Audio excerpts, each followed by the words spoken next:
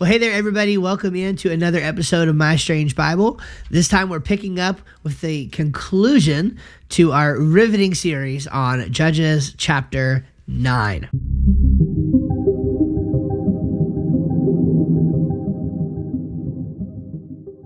Alex, how you doing, my friend? I'm doing well, Steve. Uh, dealing with the throat issue, of course, because of uh, all of the pollen and stuff going around. But I'm feeling well, and I am excited to uh, finish up finish up this uh, series of judges. I think it's been a uh, a great story that you've uh, introduced us to. Well, you sound great. You know, you kind of got Thank the you. uh, the you know the the deep and scratchy thing going on. Like I'm, I'm I find myself jealous more than anything, to be honest. I know I might have to go into a uh, some sort of narration and just hope that this is a continual um, allergy thing that continues to happen.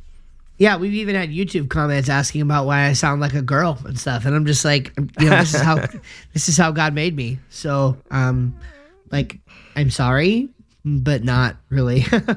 Yeah, I, I, I can't help it.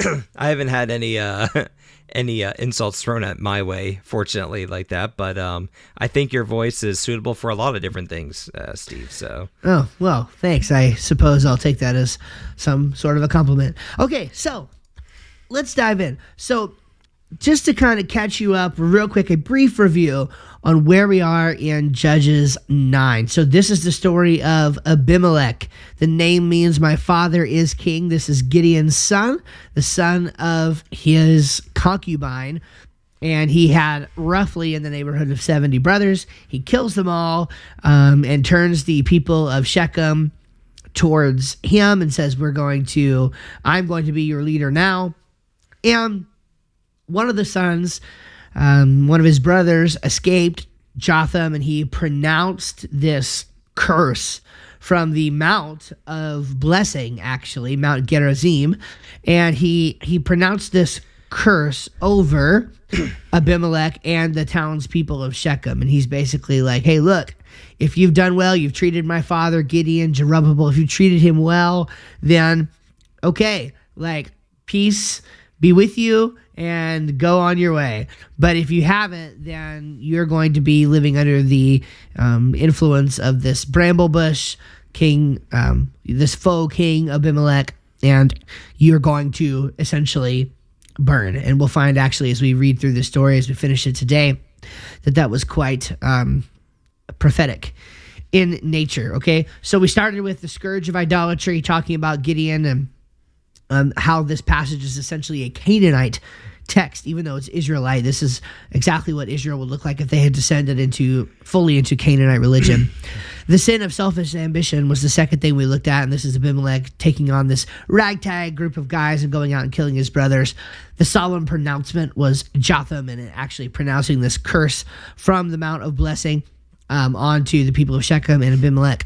Then last time we talked about the spirit of evil, which is uh, the idea that there's this actual, um, you know, spiritual being essentially that God sent to cause havoc in between the people, to cause a rift really in between the people of Shechem and Abimelech so that God could start redeeming this story for his glory. And we ended out last time talking about the sanctions of Shechem, which is basically um, one of the, the first things that happened when this uh, evil spirit began to cause a rift between them is the people of Shechem started robbing Abimelech's um, hired hands whenever they were trying to travel back and forth into the uh, town. So that sort of catches us up where we are in this extremely weird. I mean, some scholars call this the strangest story in the Bible. And that's high praise because the Bible has some really strange stories. And so this has been a, a fascinating look uh, into a really dark point in Israel's history, I think. Um, all all very true, and I I think one thing that I would like to see is I'd like to see adopted um, the insult that we just uh, insult people by being calling them a bramble bush from now on. I'd love to see in like a presidential debate, um, just one of the uh, candidates call the other candidate, "Well, you're just a bramble bush," and just uh, see the look of confusion on on the other's face. I think that Yeah. we should it should be a mainstream thing. Yeah, and, and if you haven't, that's that. uh, I think that's a good idea. Um, if you aren't uh, familiar exactly with what we're talking about, well, you probably want to go back and check out last week's episode. Um, or actually, it's been two weeks actually since we recorded one. So the last episode that we recorded a couple weeks ago.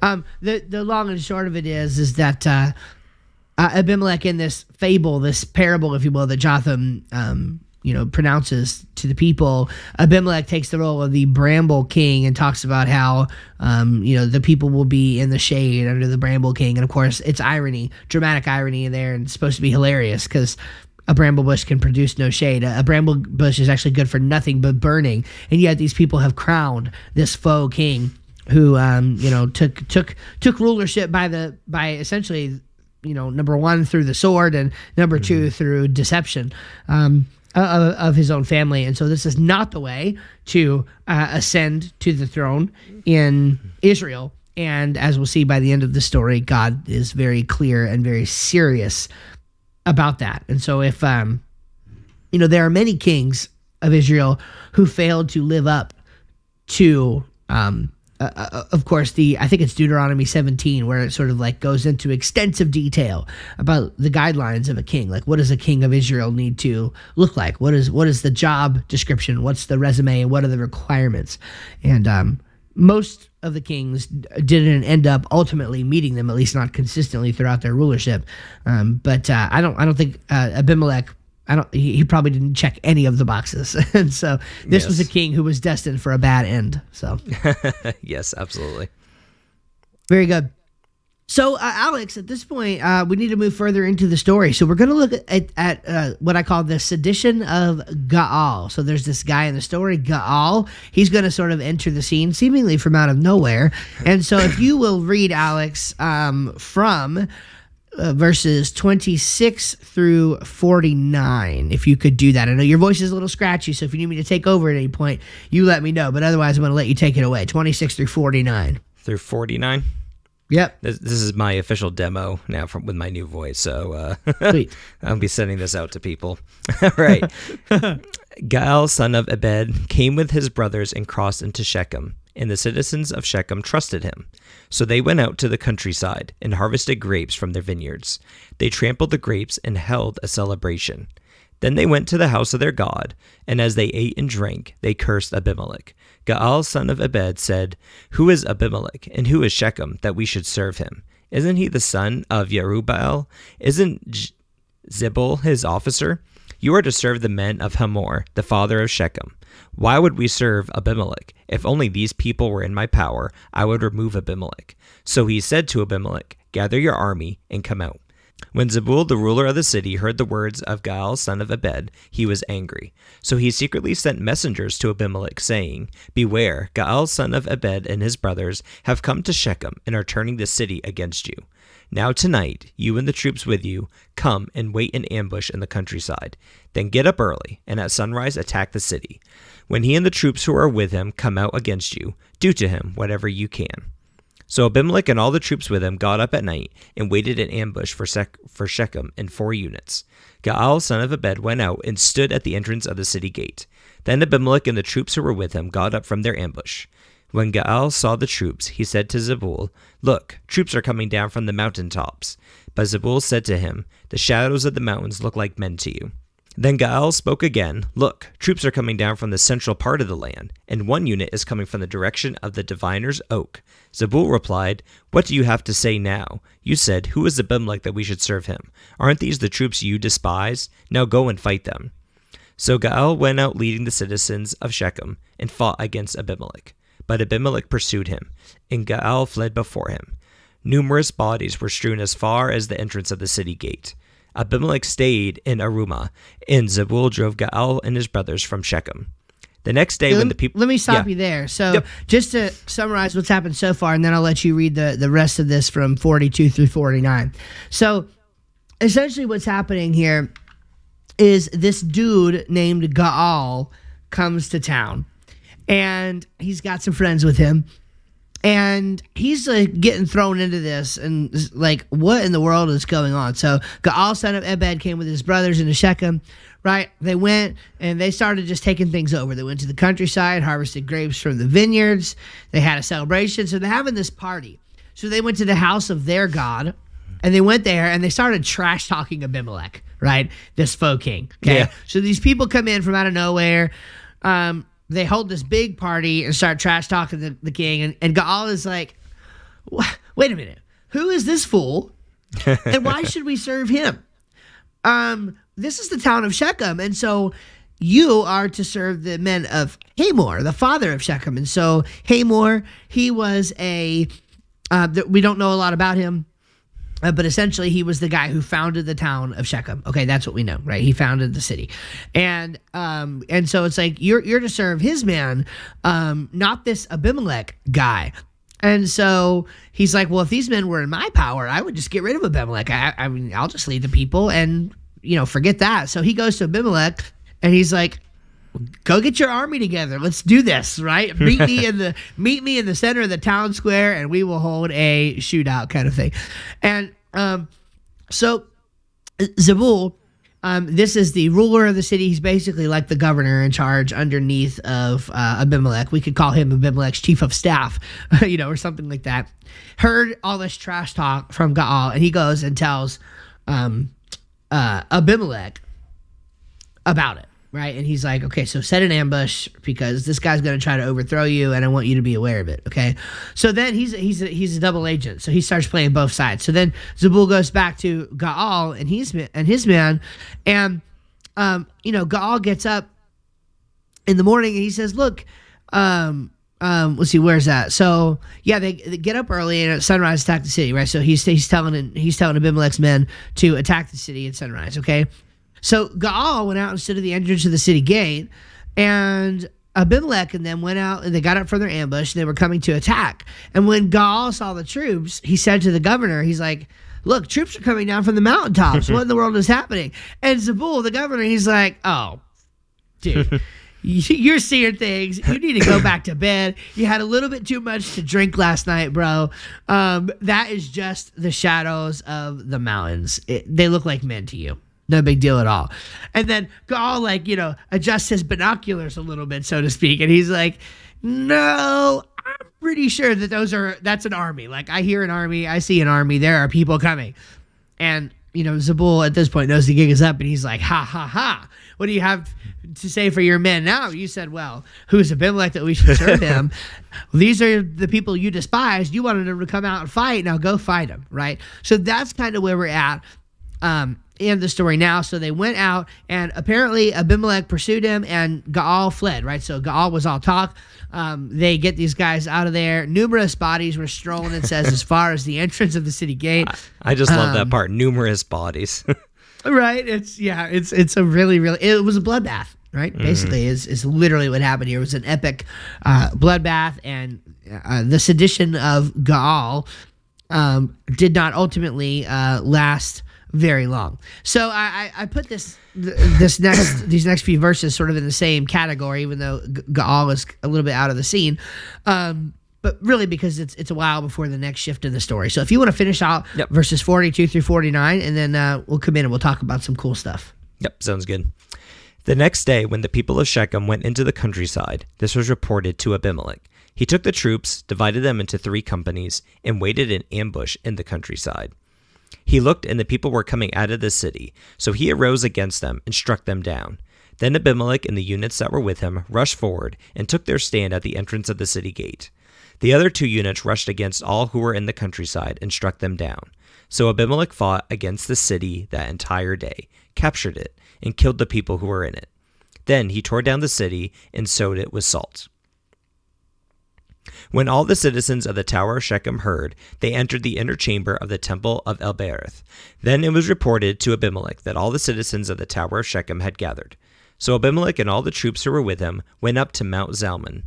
Abimelech took his axe in his hand and cut a branch from the trees.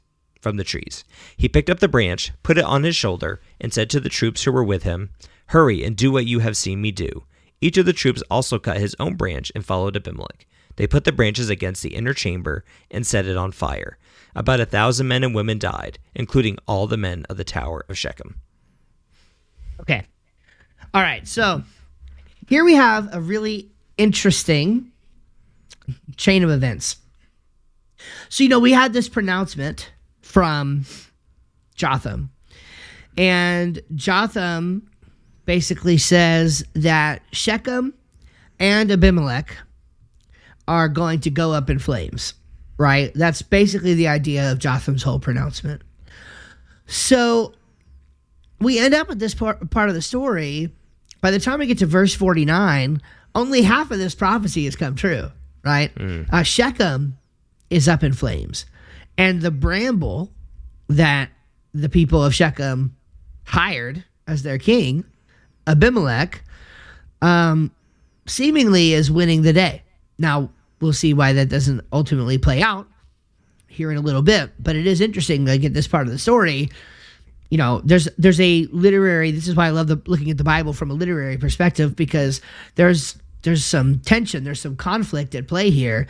It's like, wait a minute, the guy who was supposed to get burned up by fire just like literally grabbed branches and burned up the tower of Shechem and the city um, with these branches, right, and with fire.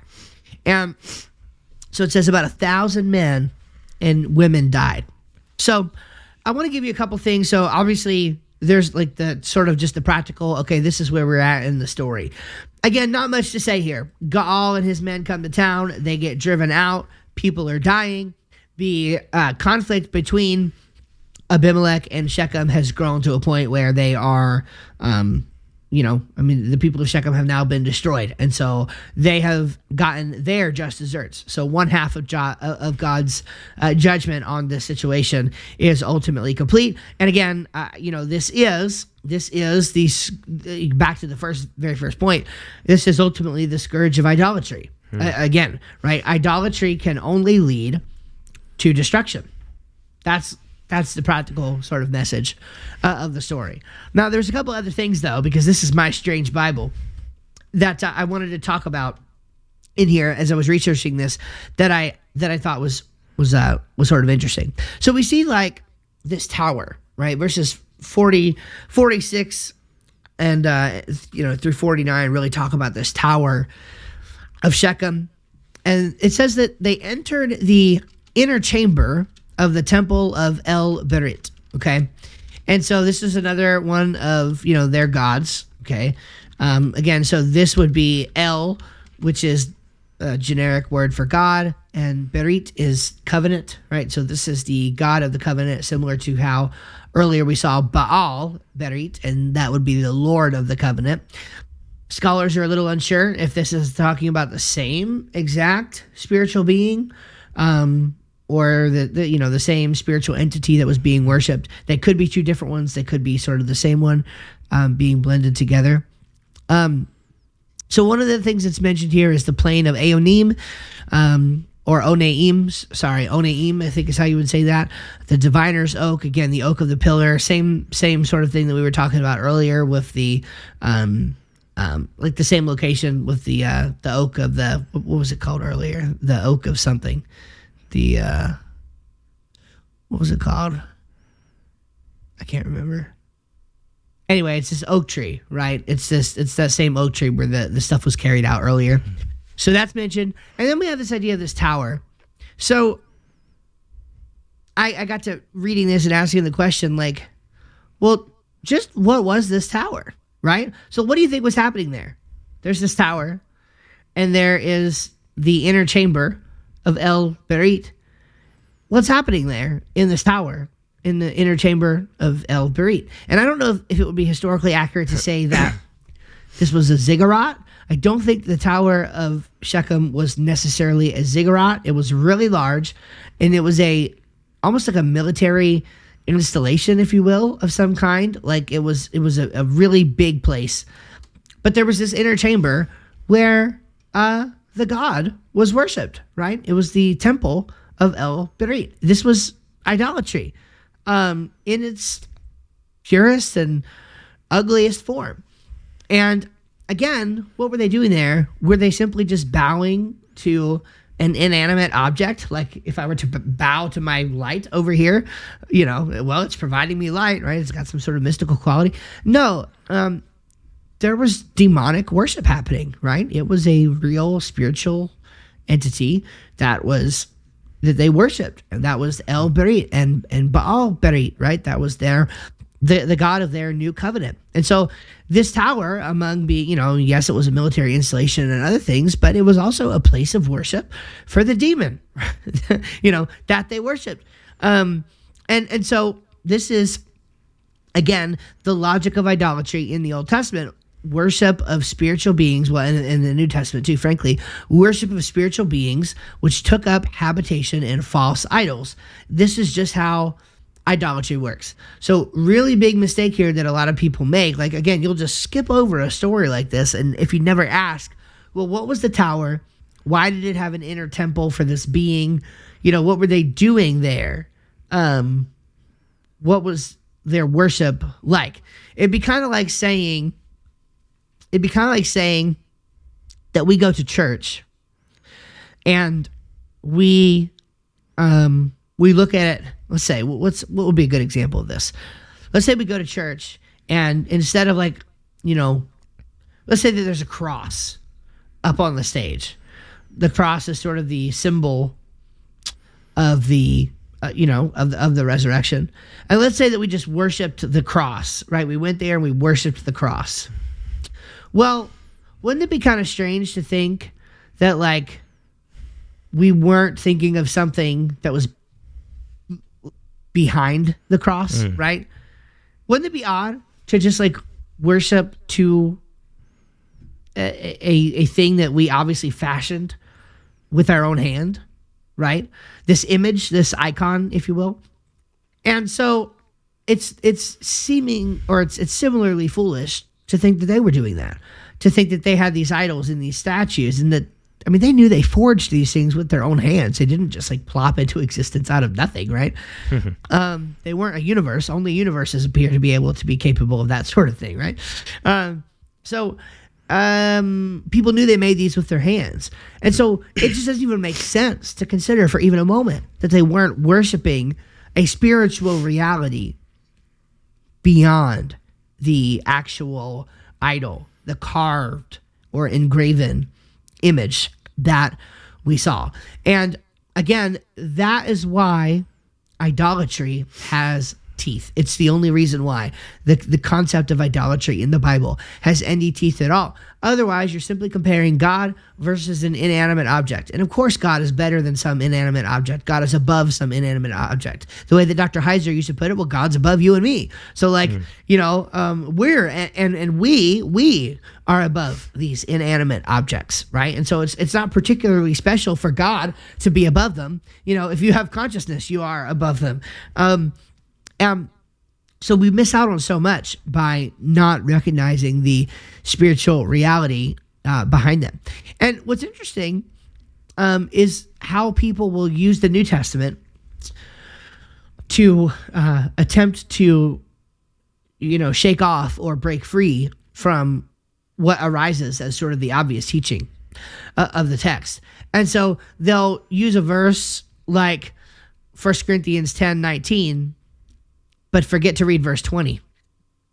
And so, uh, 1 Corinthians 10 19 says this. This is Paul, right? Speaking to the church of Corinth. What say I then? That the idol is anything, or that which is offered in sacrifice to idols is anything? See, the idol is nothing, right? It's absolutely nothing. And then verse 20, but I say that the things which the Gentiles sacrifice, they sacrifice to devils Mm. Or demons is another accurate translation of that word. Daimonos, I think is the word. Okay. And not to God. I would not that ye should have fellowship with devils.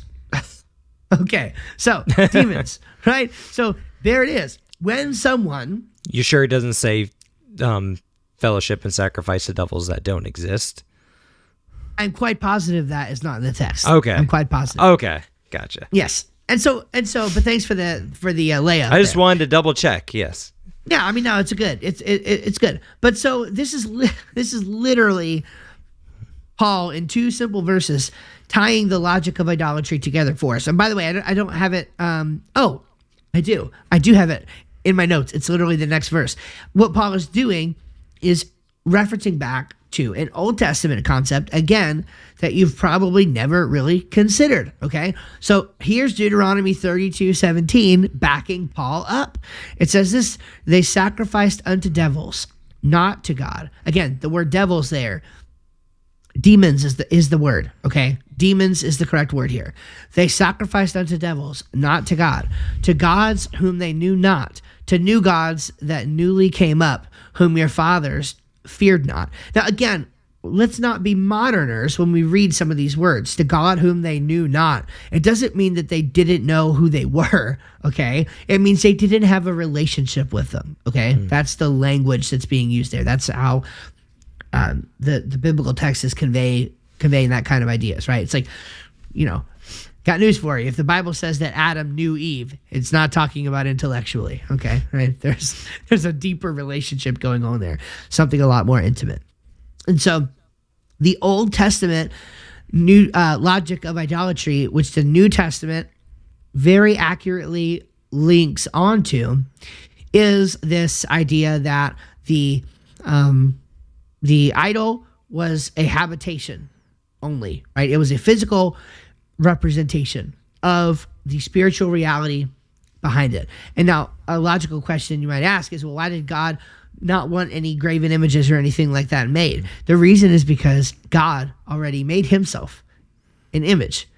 And what is that image? It is you and me, right? Hmm. Me and you are the image of God. How demeaning and how defacing, right? Think about this. Think about this. Think think about Aaron, right? When Moses is up on the mountain having a, you know, hashing it out with God, right? And Aaron's down there and the Israelites are freaking out, right? And Aaron wants to just appease them. Okay? It's like me at soccer practice when they ask me a thousand times if they can do something. Yes. For heaven's sake, just do it. Right? Okay? So Aaron wants to appease them. So he says, fine, throw in your jewelry, right? Let's melt it all down, melt all your gold, and we'll fashion us an idol. Here, here, he says, here, here are your gods who brought us out of Egypt. Okay. I submit to you that what he was doing there, and there are scholars are divided on this, so I, I'm in good company, but then there's some who would disagree. But I submit to you, what he was doing there is he wasn't trying to be a Canaanite. Okay. That's not that wasn't the idea. He wasn't saying, "Oh, this is a false god." What he was doing is, is he was trying to create a physical representation. Because remember, you can you can look on God, right? Remember, Israelite theology says that if you look at God, you die. So that's not a winning proposition, right? Hmm. So they have nothing tangible to go on. And so Aaron's like, okay, we'll make us an idol here. Worship this. Here are your gods. And again, they knew that they made those idols, right? So they weren't thinking that they weren't looking at the golden calf and thinking, "Oh, this was our god." No, it was a it was a place of habitation. It was something they could worship that spoke to the spiritual reality behind it. And imagine if you're God, right? Because they get in trouble for this, and God God is literally like Moses.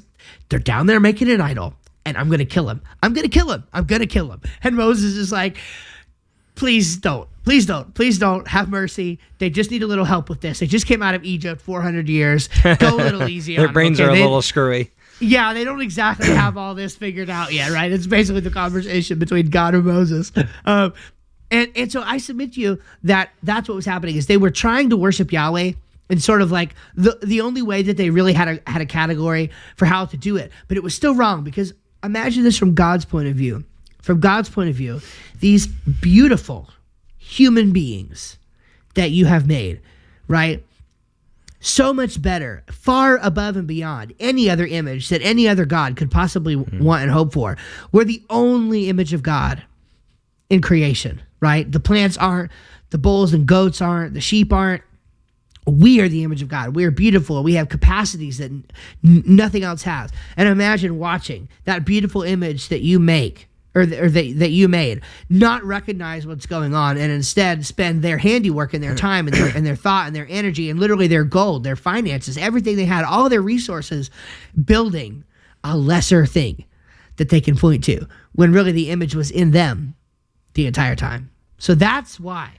That's why idolatry matters. you know what um, kind of makes it all the more preposterous is that um, the Bible clearly states that we're going to be um, rulers over um, the heavenly hosts, over angels, and yet the ones that we're going to be ruling over are the ones that they falsely worshipped. You know, beings that they're going to end up being ruling over one day are ones that they elevated to God status, and it's just, Yep. it's it's, It's- very silly. Isn't that wild and, and, and ironic, right? And- Mm-hmm. Very and this is- ironic, yes. This is one reason why I am uh, such a huge proponent of, of the divine council worldview. Um, like I refuse to believe that it's not true. Um, it just makes too much sense, right? And, and I, I have yet to see actually a good argument against it, especially when you realize that it, it, it, this just was the view of the church until the 300s AD, right? Uh, and, and again, this has all been documented. I recommend Tim Chaffey's book, Fallen. Um, really documents this stuff uh, well and see ba- basically augustine started to get creeped out by some of this fallen angel stuff. And then by the time we get to the reformation um, you know there had been a little sprinkles of, of thought against it but you know between there. But then luther and, and you know came out and was like adamantly against it. Luther's like yeah this is just too weird. Like we can believe in a resurrection but we're not we're not going with all this fallen angel stuff. That's when the sethite interpretation takes hold and then you know roughly the last what 400ish years now of church history have been um you know largely against the fallen angel interpretation and i'm thankful to start seeing it uh, come back because I know it's the right one. I know this is a little off topic from the uh, Abimelech passages, but it's just uh, so funny the Sethite um, perspective where you maybe you can wiggle your way into making that apply to one part of the whole picture, but then how how can you apply that to the dozens of other places in the Bible? Yeah. Or it just doesn't make sense. the logic breaks down Very very quickly. quickly very very quickly Yes. and if you if you just watch somebody and i'll admit i'm not an expert like I, I couldn't you know if you asked me hey dismantle the sethite interpretation right now i mean it would take me a minute but there are some people who can basically rattle off in two minutes and just totally dismantle this the sethite interpretation i think uh there, there's another perspective on that passage called the divinized kings passage it's basically like you know these were um Yeah. these were great, mighty, kingly warriors who were, you know, uh, who took these women as wives and whatever. Like, there's some people who argue for that. Actually, some very smart people argue for that, and I'm just like, bro, that ain't it. That's just not there. You know, when it, the if you understand the backdrop of the text, it's almost impossible to to, to legitimately come away with that view, in my opinion.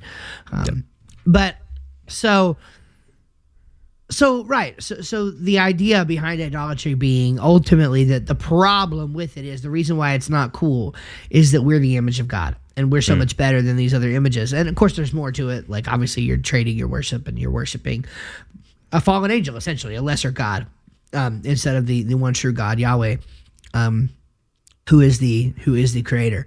So um, here's another question that sort of comes up in this discussion. Have you ever wondered why there are no demons in the Old Testament? Right? So this is kind of a weird thing. Jesus just shows up and starts randomly casting out demons in the New Testament, right? This is a very well-known motif of the of the life of Jesus. But you've never witnessed this before now in the Old Testament, right?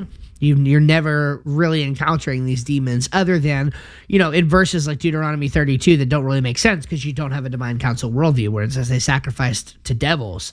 Wait a minute, I thought they sacrificed to idols, but this says they sacrificed to devils. Well, the answer is yes, they did both. Both. And it was one of, one of the same, right? And so the, the way that I put this is that the answer is well, there are demons in the Old Testament. You just thought they were fake, right? You thought they were fake. You thought they were gold and wood and and and you know idols.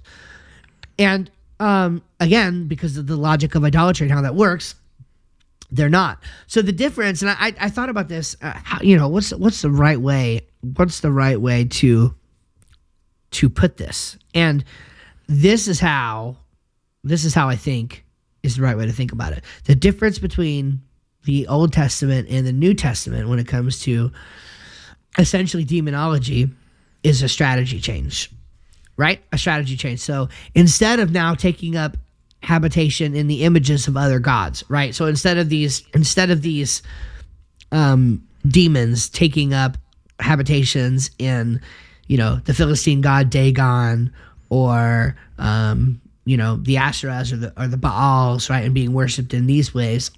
Instead of that, they needed a strategy change, and so they started uh, taking up habitation in Yahweh's images, Yahweh's imagers, right, in in his in his people, right. So they start what they started doing was they realized, oh, we don't need to inhabit these you know these idols anymore which of course they still did in some cases right? Because there were you know literally like some of the early church arguments were like about meat that had been sacrificed to idols right? So obviously there was still idolatry and idol worship going on there okay?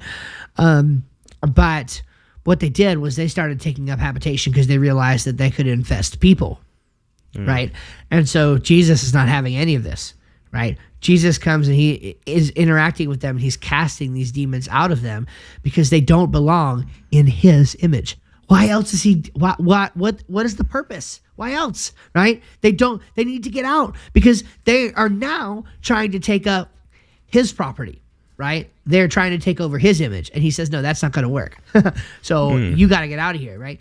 And and again they recognize him right? Who are you? You know have you come uh why are you legion right? Talking to to to, to jesus. They're like you know why are you here now? You've you've come before the time right? And i don't i'm not going to pretend to know exactly what was meant by that. Like did they know the battle plan? Well, i don't i don't think they did.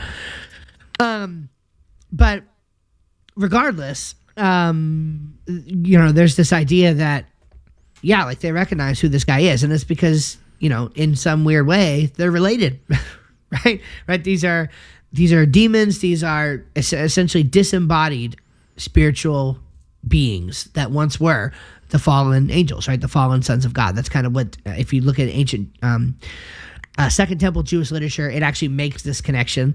Um, it makes this connection that essentially the demons that you find in the New Testament are the the disembodied spirits of the dead Nephilim giants that were killed in the flood. And boy, I know that's weird, but it's in the literature, right? And so you can you can find it and go read it for yourself. Okay, so.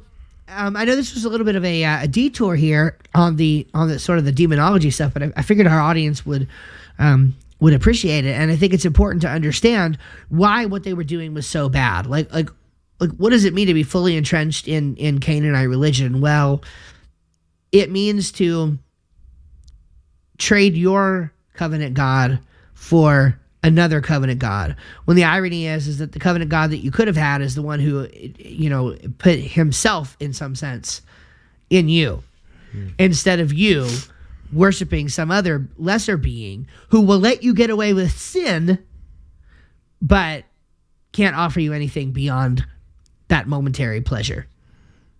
And so that's what was happening. And that's why it's so bad. And that's why the the trade is not worth it. Um anything else to say about that before I want to read one more thing on this point then we're going to move on to the next one. No, go ahead and continue. That's fine. Cool. All right, so um, I always think this is interesting because as interested in, as I am in sort of the uh, nerd theology stuff, I'm also interested in, in apologetics, and so I always like finding out when there's you know um, sort of secondary confirmation for some of the stuff we saw. So I'm going to read this. Um, this is an excerpt from Bryant Woods from Ramses to Shiloh. Um, and I thought this was interesting. Quote, a large fortress or Migdal temple discovered on the Acropolis of Shechem has been identified as the temple of Judges 9. It was constructed in the 17th century BC and lasted into the destruction of the city by Abimelech in the 12th century BC. The largest temple yet found in Canaan. It measures um, 21.6 by 26.3 something. It's it has an M there, but I don't really know what that means. I confess, I, I don't know. It's a lowercase m. I mean, I, I don't. Is that Is it meters? is it meters? That seems. How long's a meter? I don't know. I'm, I'm showing A my meter is now. roughly three feet. It's a little bit roughly feet. that. Okay, yeah, right. Okay, so 21. That's probably about right. Yeah, it has foundations 5.1 meters thick that supported a multi-storied superstructure of mud bricks and timber. Okay, so on the east, two towers containing stairwells to the upper stories flanked the entrance. Inside, two rows of columns, three in each row, divided the space into a nave and two side aisles. Close quote. So, um, yeah, just cool, just interesting that this actual tower uh, has been found and identified. And just another reminder that, um, again, we're, we're reading ancient words that were written by real ancient people about real activities that happened in real time and space. And um, I, I think because we often live in a culture where you can just sort of memory hole things and change the past. It's always uh, fascinating to to see sort of that external evidence for for the things that we find in the Bible. Yeah, um, it's. I always like when uh when they when just the measurements are involved with it. I I don't know why I'm kind of um maybe like you. I just like looking at the details too. Kind of like nerd out a little bit on the dimensions of it. Like I think about um um like the Ark of the Covenant and the Tabernacle and how and just the the measurements and dimensions of it. So much time is spent just Oh, yeah. talking about things like that. So. Um, I know that's Uh-huh. not directly from uh, from the Bible that you just read, but it's just uh, I just like learning about that stuff too. Gives it just uh, Yeah. some pretty good context on the size and scope of, of what things were like then. Yeah, well, it just kind of also you know goes back to the reality of it, the significance of it. I mean, like everything in the um, you know, the even the dimensions and the design of the tabernacle and, and the temple, it was all intentional, right? Um, nothing, nothing left to chance, nothing by accident. And uh, the more you dig into that stuff, it's like it can seem really a little terse to start with, but like there's really cool realities behind it. You know, once you dig into it, so. Um, okay, so hey, if you will, uh, go ahead and read for me verses 50 through 57 to close out the chapter. Yes. So Abimelech went to Thebez, camped against it, and captured it. There was a strong tower inside the city, and all the men, women, and citizens of the city fled there. They locked themselves in and went up to the roof of the tower. When Abimelech came to attack the tower, he approached its entrance to set it on fire. But a woman threw the upper portion of a millstone on Abimelech's head and fractured his skull. He quickly called his armor bearer and said to him, Draw your sword and kill me, or they'll say about me, A woman killed me. So his armor bearer ran him through, and he died. When the Israelites saw that Abimelech was dead, they all went home. In this way, God brought back Abimelech's evil, the evil that Abimelech had done to his father when he killed his seventy brothers. God also brought back to the men of Shechem all their evil. So the curse of Jotham, son of Jerubbaal, came upon them. Nice. You know, I, I just love verses 56 and 57 there, right? Yeah. I, I love how It's so like good. you could have stopped reading right at verse 55 Yep. and it would have the point would have been there, but then you would have had to like connect a few dots, right? This but says the, point. Mhm. yeah, this brings it back around. And so this is kind of a fascinating thing. Like even though even the markers of the text and all the things that we've discussed in the past couple episodes, even though it, it talks about how this is basically what the text would look like if Israel had descended into Canaanite theology, again, you still you this helps us understand that it was the story was being told a particular way for literary effect, right? It's um because clearly Yahweh, even though he's not called by his covenant name Yahweh in this passage, clearly Yahweh is still the hero of this story. The idea is that God brought back Abimelech's evil upon him, he brought back Shechem's evil upon them, and specifically the curse of Jotham came upon both Abimelech and the men of Shechem. And and the narrator is very clear, such as to leave no doubt that God has been in control this entire time, even through the arguably the darkest period of Israelite history that spanned, you know, a little over three years of time. And that's a long time if you're living hmm. right in the middle of this. So so what's going on here? All right, so you know, at verse 49, Can I say something first? Oh please, yes. I, I, um, you and I like to see where Steve and I message each other quite often about our devotions reading, just funny stuff that we we see. I feel like this whole last section is is is hilarious where you see the downfall of Abimelech. Like, there's obviously a serious message to it, but then it's almost like a Monty Python version in the Bible. Like I feel like a skit could be acted out here where Abimelech's approaching the tower and he gets his head fractured by a millstone being thrown and, and hitting his head. A woman does it, and rather than try to recover or rather than focus on the wound, he just says, "Ah, I don't want a woman to get me. Quick, stab me." And it's uh, I don't know, it's just a very funny scene. I think that that is his concern in all of this. His death is upon him, and he doesn't want his name to be known that a woman slayed him. Right. Yes. Yes. Well, and it's you know, I mean, it makes sense, right? There is the, um, there is the honor part of it, right? It is Yep. an honor shame culture, right? And so, yeah, sure. and this it would have been very bad for him to have died by the hand of a woman for his legacy, right? To Yep. to have meant anything. Um, since you went there right now, I'll go ahead and just bring out this point that this was a point that I was I was going to mention.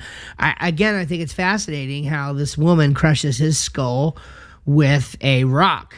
And there's another passage um, in um, Judges earlier. I forget, is it Judges four? I think it's Judges four, where um, you got this army commander Sisera, and um, at the end of the story, um, Yael is the wife of um, some random guy, um, military, you know, soldier, and uh, he, you know, uh, Sisera ends up going into the tent. He's escaping and fleeing from a battle, and he goes into this tent with this woman, and he's like, "Give me some water," and she's like, "I'll do you one better, baby. I'll give you some war- I'll give you some warm milk," you know. And so she gives him some warm, and it would have literally been like when it says milk, but it's, it would have literally been like a um, um, almost like a yoga, like a really like a soothing sort of agent. Okay, and so yeah, he'd relax, come on in, have some milk, you know, kind of thing. Bam! Right, drives a tent peg through his skull. right through his skull. Oh my god. And so, and so here, so it- it's interesting, right? So this is another sort of example where, okay, you've got a woman crushing the skull, okay, of of of the snaky figure in the passage, right? Um, and so in this case, instead of the seed of the woman crushing the head of the serpent, the woman herself, right, directly crushes the head of the serpent, right, of the one who's deserving of the punishment. And what I think is interesting about this is this is literally the story of what happens if Satan wins, right? This whole story. Like, if mm. Satan wins, then this story is what happens. And what I think is fascinating is that Abimelech's conspiracy depended on the support of his mother and her family. So he killed. So again, picture he goes to his mom, a, a woman, right, a female. He goes to his his mom and her family, relies on them. Then he literally decapitates all of his brothers against a rock and and then at the end of the story, he's killed by a woman, arguably a mother, right? Very likely a mother, right? So he goes to his mother for support, kills his brother on a rock. End of the story, he's killed by a woman, probably a mother, with a rock, right? Uh, I, one guy I, I heard you know, a message on this as I was preparing for the original sermon. And one guy he used this terminology, and I was like, oh, that's that's like it's so vivid. He said, honestly, like this whole process is just like slow and brutal fairness mm. right mm. is, Yes. is is what's ultimately without the mercy of god in a situation what you have is just slow and brutal fairness. Like really what god did for us is unfair right? It's it's, it's unfair to him that he had to go through that that he had to be the sacrifice that he had to take our place right? But he did. And that's why we have grace right? That's why it's beyond simple mercy. It's the other it's the other side of things where it's also grace right? So we're not given what we deserve. We're given what we don't mm. deserve right and, the end otherwise is just just this slow and brutal fairness. So i always think it is fascinating um to see the gospel work out in these in these stories. So like i said it like this this story is a microcosmic demonstration of what happens in a life without jesus right? We're born into corruption. We're sent into a downward spiral of sin. We're accused and confused by demonic forces. We're judged with the same measure that we judge others. But for grace, right? Like, were it not for the grace of God, that is the slow and brutal fairness that we would experience. There's this song that says, um, Were it not for grace, I don't know where I'd be wandering down some pointless road to nowhere, right? My salvation left up to me. and I, I love that line the pointless road to nowhere, right? That's the road Abimelech was walking, right? Mm. Abimelech was walking the pointless road to nowhere where, yeah, you can get away with sin, for a season on that road. You can have some of those ambitions come to fruition. You can you can have a, a time and a season of pleasure. But ultimately, you're going to be judged by God with that slow and brutal fairness. So again, verse 49, Abimelech's feeling pretty good. He's doing what kings do, right? He's like, well, yeah, I've already taken Shechem. This is going to work out great. Let's move on to the next town. So they go to Thebez, right? Yeah. And then he's so he's going to go conquer Thebez, and of course, Thebez is where he meets his demise because ultimately you reap what you sow. well, think about that too. Um, what you were saying is you're kind of going on your own like means of salvation when you when you reject God. So think about Abimelech where he killed his his brothers, assumed the throne, took over, and now he's in this position of power. And it still like wasn't enough. And I know like conquest and you know being a ruler and trying to make a name for yourself was big um, in those days. Still is big now for a lot of world rulers, but he just wanted more and there was no satisfaction to the amount that he wanted to rule the people he wanted to conquer and if this would have if he would have passed this one and if he wouldn't have died here he just would have wanted more and then more and more and there would have been nothing to satiate that um, yeah. desire for him that's exactly right. The only way to find final rest and, and satisfaction is to realize that you can never bring the final rest and satisfaction and to yeah, rely on getting that from somebody else right? Mm-hmm. And the only person capable in human history of producing it is is Christ. Mm-hmm. And, and, so I, I, subtitled this series, if you remember back to our first episode, God will not be mocked. And we what we talked about, if you remember, is this idea that I've always thought it was like just like, again one of these strange sayings, like God will not be mocked. Like I know what mock means, kind of, I think, but like what does that mean? And we talked about how it means um, the the word, the Greek word um, mikterizo. It literally is indicative of the action of turning up your nose, right? Turning mm. one's nose up. And I, I was like, okay, well, I kind of get that, but like, I don't really know exactly what that means. Like, if I were to uh, try to define what that gets across, I don't really know. So I looked it up in Webster's, right? And it's like to refuse to take or accept something because it is not good enough. And so mm. the end of the story brings it all the way back to this theme of like, God will not be mocked right god is god like what they've tried to do in this in this story this passage of scripture was trade god trade yahweh for another covenant god and god said oh no no no no i will not be mocked in other words he's not better than that god is not better than me and the bible says by the way that he's a jealous god right yeah. what what is meant by that well what's meant by that is that god understands that he is the creator and so it is literally ludicrous. It's, it's fundamentally insane, which is why the Bible says that the fool said in his heart, There is no God. It's literally defining the word fool for you. Uh, because if it, it's fundamentally insane to deny that the creator God is worthy of all worship and that and that that loyalty should be traded to some other god right and so god says look i'm not going to be mocked um, you don't get to say that I'm not good enough because I am good enough, and God will use whatever means necessary that He needs to to show you that He is good enough. And unfortunately, He's a good and merciful and gracious God, and so the way that He ultimately did this was by punishing His His Son Jesus Christ on the cross and drawing His blood in our place. Hmm. And of course, if you know Christian Trinitarian theology, it's basically God crucifying Himself, right? The Bible uh, the way it puts it is like that, that Jesus says that he can lay himself down and rise himself back up, right? And so um, this was something that he ultimately took upon himself.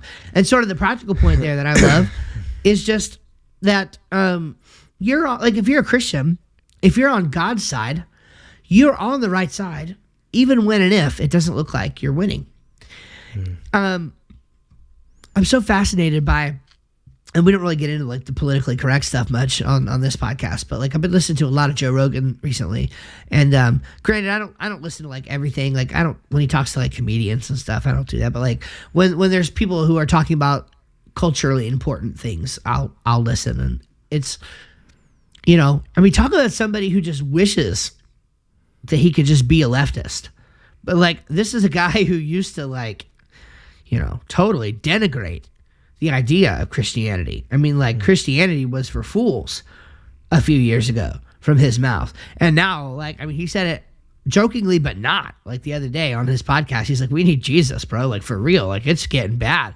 And ultimately, all that's happening is Joe is seeing the fruits of what happens when hmm. you ultimately live under the judgment and wrath of God. I mean, we find in Romans 1 and all these different places that a lot of what we're seeing today, again, even when you look at homosexuality and transgenderism and stuff like that, like these things are mentioned in the Bible and they're mentioned in the context of judgment from God from a nation that's gone astray, right? And, and so, like, it's not surprising that we see this stuff, and Joe's right. Like, we literally need Jesus. And so sometimes it doesn't feel like we're winning, but if you're on God's side, you're always winning, right? And so even if you're three years under the hand of Abimelech and Shechem has been turned upside down, um, Thebez is coming, right? And ultimately, the head of the serpent will be crushed in due time, which is God's time, right? So that's the practical point. And if I if I could, and I'll let you come back with anything you want to here, but kind of to to wrap up um, some of my thoughts, I, I want to read this from Daniel Block, um, Bible scholar. This is from his book on Judges and Ruth. Quote, Abimelech has craved desperately to prove himself a worthy successor to his father by living up to one interpretation of his name, the king, Gideon, is my father, only to experience the original intention of the name, the king, divine, is my father. Neither human pretension nor human ferocity could dislodge Yahweh from his throne. I love that line. Neither human pretension nor human ferocity could dislodge Yahweh from his throne.